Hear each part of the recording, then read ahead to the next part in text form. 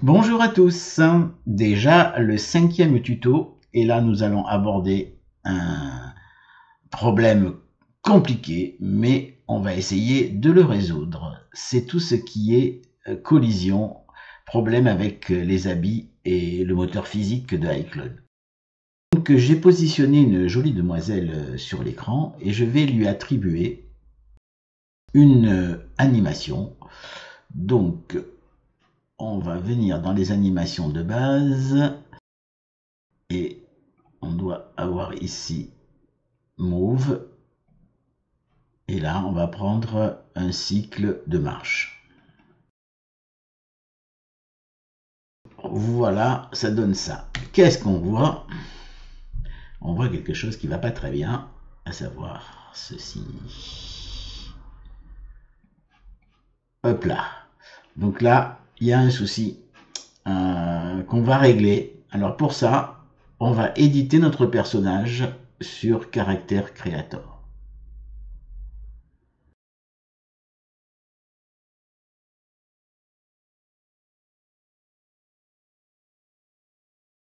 Voilà. Donc eh ben, ce personnage, on va lui assigner la même euh,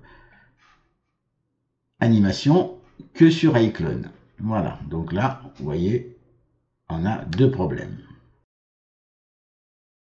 Pour corriger cela, on va venir ici dans scène, on va développer le caractère et on va chercher la robe. La robe, je pense que c'est celle-ci. Oui, c'est celle-ci.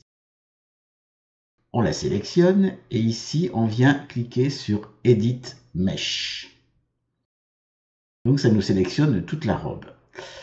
Là, vous avez plusieurs euh, onglet, nous on va choisir Sculpt. Et ici, on va prendre ce qu'ils appellent le Pull Hold Control Toggle. Et là, vous voyez, j'ai un petit, je vais m'approcher pour que vous y voyez un petit peu mieux. Plat.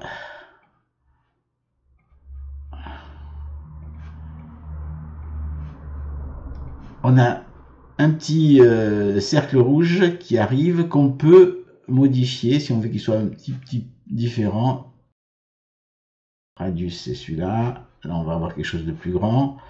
Voilà, pour le moment je vais laisser ça comme ça. Et là, eh ben, il va suffire de faire de cliquer et regardez, c'est magique. On a résolu le problème. Là on a un petit défaut, c'est pareil, on clique dessus jusqu'à ce que le défaut disparaisse. Et là, on peut lire notre et s'apercevoir qu'il y a encore un petit problème.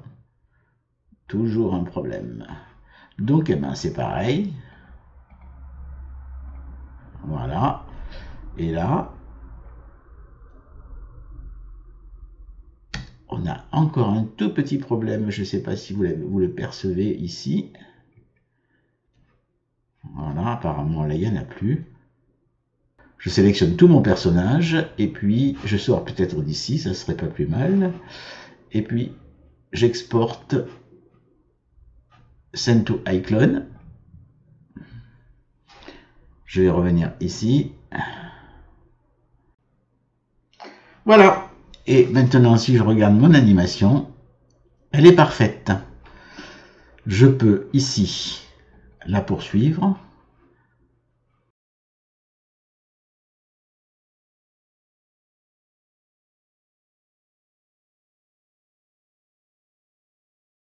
Etc., etc. Voilà comment corriger un problème que vous allez rencontrer assez souvent. Et là, vraiment, on a quelque chose euh, de parfait. Le moteur physique, c'est quelque chose d'assez compliqué. On va voir un petit peu aussi les interactions euh, que l'on peut faire entre un personnage et un objet. Alors, pour ce premier exemple, j'ai choisi Kevin, qui, est, fourni avec euh, iClone 8. Et donc, qu'est-ce que je vais faire? Je vais déjà le mettre dans une position horizontale, voilà, latérale, pardon. Et je vais venir chercher ici un props physique. Vous remarquerez que dans les props, ici, vous avez physique props. Et là, vous avez pas mal de petites choses. En fait, ce sont des choses qui sont déjà paramétrées pour être actifs en physique. Donc, je vais choisir, tiens, on va prendre un bidon. Ok. On va prendre, hop là, on va prendre une boule. Voilà, les petites, mais c'est pas grave. On va prendre, qu'est-ce qu'il y a d'autre? On va remettre un autre bidon ici. Voilà. L'idée, c'est que mon personnage va dégager tout ça. Alors, il y a plusieurs possibilités. Déjà, la première des choses que je viens, je fais ici, je vais venir définir un sol, ce qu'on appelle infinite plane iProp que je pose sur le sol. Voilà. Et maintenant, je viens chercher une animation. Alors, une animation, j'ai quoi comme animation? Euh, tout, tout, tout, Je vais prendre une course. On va prendre une course. Mal. Performe. Qu'est-ce que j'ai dans performe? Voilà. Tiens, par exemple, on va prendre ça et on va lui positionner. Et là, donc normalement il a un, revolver, mais là on s'en fout. Ce qui nous intéresse, c'est le pied. Voilà. Vous avez vu les, les bidons. Hop, si j'élargis.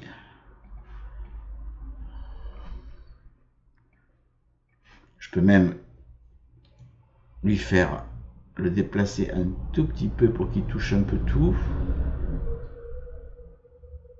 Voilà.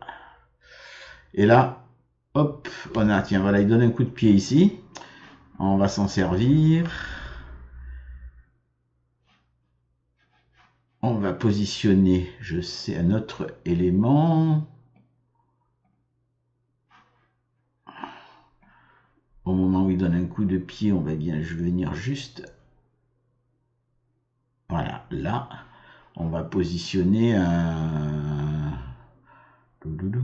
attendez, un props physique, tant qu'à faire, remettre un bidon, pourquoi pas,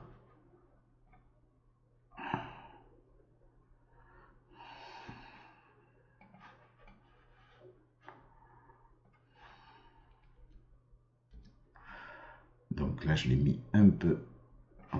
Double V, le positionner un peu plus comme ça.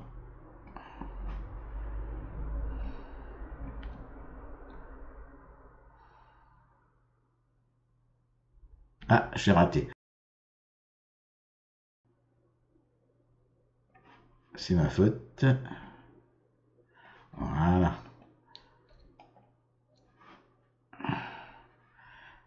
Ça va nous donner ça. Voilà. C'est pas mal, hein Donc, si je fais un petit... Si je vous montre toute la scène... Donc, bien sûr, ça, si ça... On peut l'enlever, hein. Euh, je ne l'ai pas fait, mais... Euh, hop là. Voilà. Donc, notre scène... Ici va donner cela.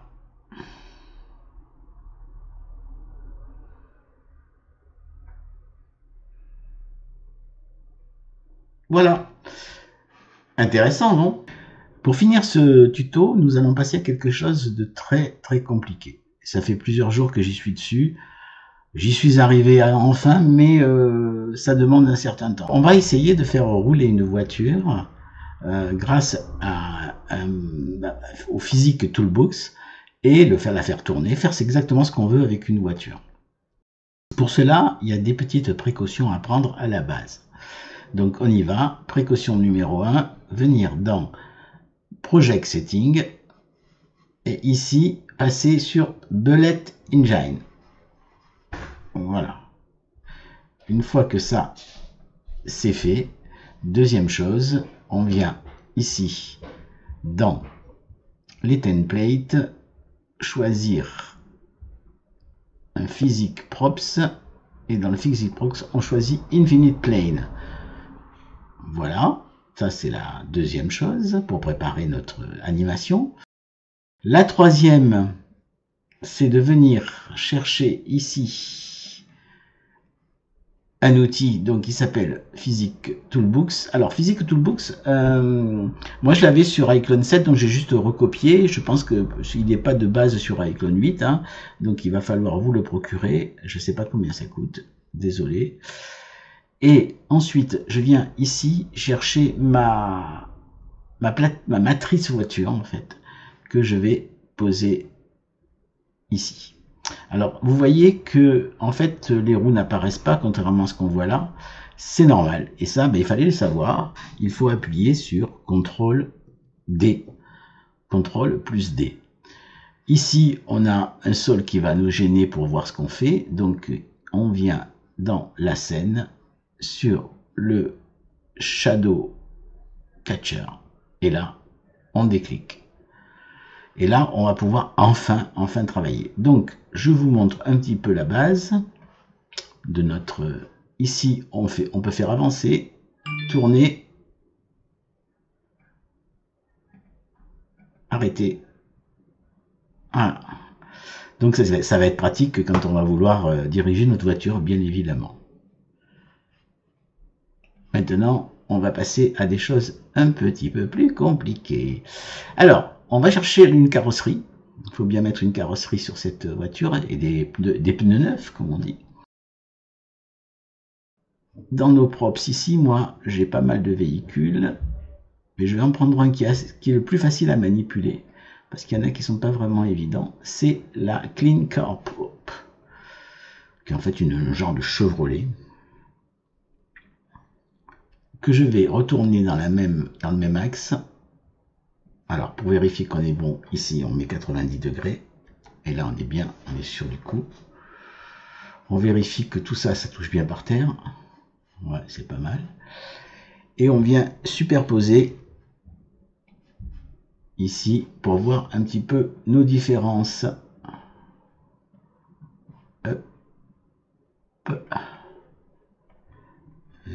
W.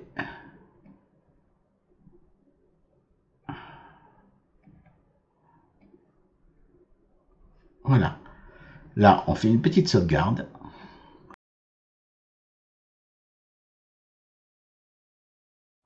Alors, comme vous pouvez le voir, on n'a pas du tout les mêmes dimensions. C'est le moins qu'on puisse dire. Pourtant, la... ça comme ça. La, la voiture est, aux bonnes dimensions pour, pour mettre un personnage dedans. Hein. J'ai vérifié. Donc, eh bien, qu'est-ce qu'on va faire? On va agrandir ici notre euh, plateforme, bien évidemment. Alors, là voilà, R, et on l'agrandit, W,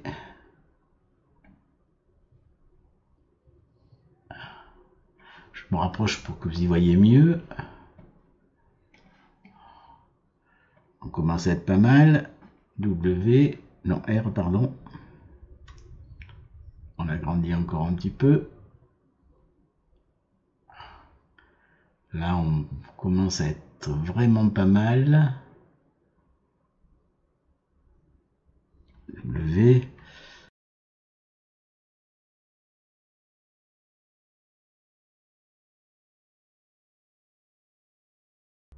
petit W dans ce sens-là.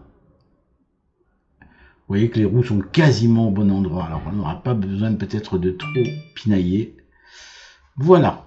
Donc, on revient en position horizontale. Et là, on voit, on voit, que les roues sont pas mal. Vous voyez qu'elles manquent un tout petit peu de...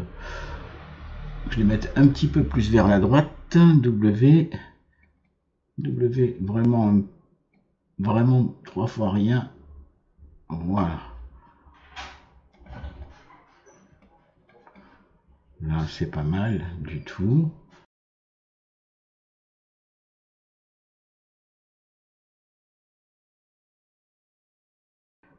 Par contre, ça dépasse de l'autre côté. Ah, s'il faut jongler, hein, tout simplement.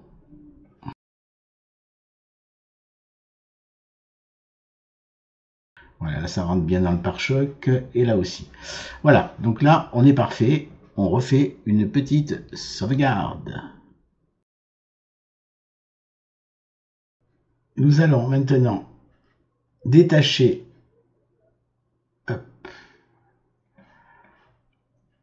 détacher notre matrice W. Hop là, on la fait ressortir. Très bien.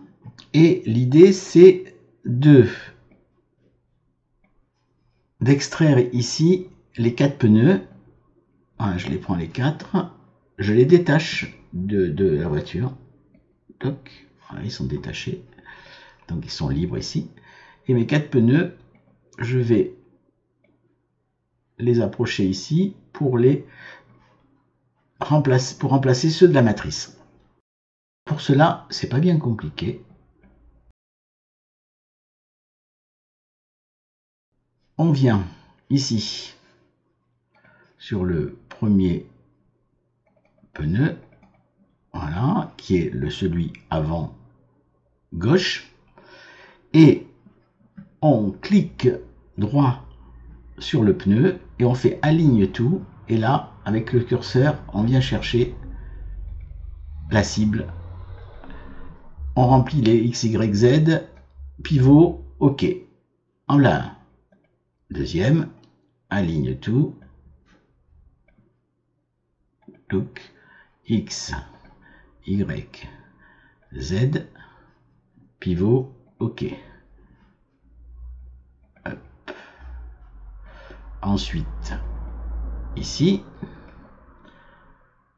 aligne tout, X, Y, Z, OK. Et le dernier, aligne tout, X, Y et Z. Pivot, OK. Petite sauvegarde, bien évidemment. Voilà, j'ai agrandi la fenêtre pour la fin, pour qu'on y voit mieux. Et on va venir positionner notre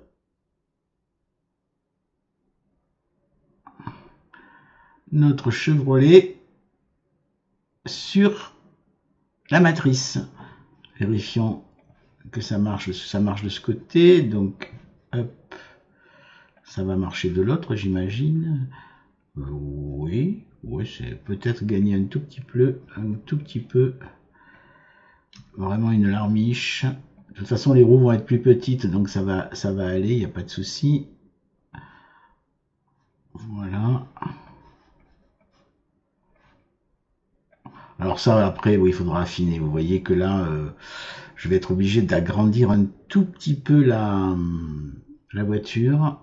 On va l'élargir pour, que ça soit nickel. Donc, R, et on va l'élargir un tout petit peu. Ni vu ni connu. Hein. Voilà, là c'est nickel. Et là, c'est nickel aussi. Donc, maintenant, on va réouvrir, pardon, Windows Workspace, on va se mettre en standard. On vient sur la scène ici et on vient attacher la voiture à la matrice. La caméra n'en a pas besoin, je l'efface. Maintenant, reste à faire apparaître les pneus vous allez voir, c'est pas très compliqué. Donc j'ouvre ma voiture, je développe les quatre. Voilà. Je viens ici sur le premier, je ferme tout et je rallume que le pneu. Vous inquiétez pas, ça, ça va disparaître aussi. Hop là, ça, je fais disparaître. Même chose ici, hop et hop. Ici, pareil, hop et hop. Ici, pareil, hop et hop. Et enfin, le petit ici. Voilà, notre voiture est finie. Je trouve qu'elle a plutôt belle allure. Les roues sont bien. Voilà, maintenant, on va, je vais vous expliquer comment créer euh, une animation, bien évidemment, sinon ça ne marcherait pas. Donc, vous restez toujours en Bullet Engine. Voilà. Et ici, on va partir. Hop là, c'est parti. Je veux la faire tourner. Oh non, on retourne par là, ça sera mieux. Voilà. Je retourne. Voilà. Et tu t'arrêtes là. Ok. Donc, je ferme ça pour que vous y rendiez, que notre écran soit plus grand. Donc, ici, stop. Ici, je vais revenir, j'enlève modifier. Je reviens dans le projet, project setting. Et là, je passe en physique engine. Là. je reviens ici, et là, notre animation, vous voyez que les roues tournent de façon un peu bizarre, mais bon, notre animation est correcte, il n'y a pas de souci. Hein. Voilà, vous savez tout. Alors ça, ça demande à être un peu retravaillé, hein, bien évidemment. Il y a des tutos en anglais qui existent, mais ils sont pas simples. on refait lecture.